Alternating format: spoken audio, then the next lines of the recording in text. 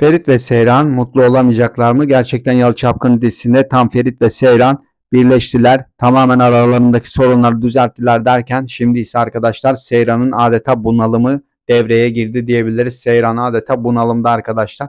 Kendini ağır bir hasta sanıyor. Aslında arkadaşlar pek bir şey yok gibi gözüküyor. Sizler de Seyran bir an önce düzelsin isteyenler Ferit ve Seyran bir an önce bebek sahibi olsun isteyenler video beğenerek sayımızı gösterebiliriz.